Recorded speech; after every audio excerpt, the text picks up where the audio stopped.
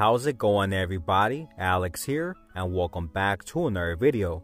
But if you're new here, don't forget to subscribe to our channel for daily wrestling news. Alright guys, so it was reported just a little while back that Finn Balor had requested some time off from WWE, which they ultimately granted. And since then, Finn Balor got married and is currently enjoying his time away from the company. However, it seems like Finn Balor's return date and potential future opponent has been revealed.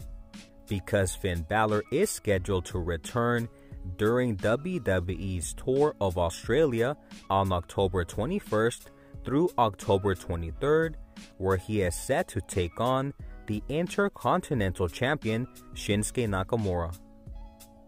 Thank you guys so much for watching and have a wonderful day.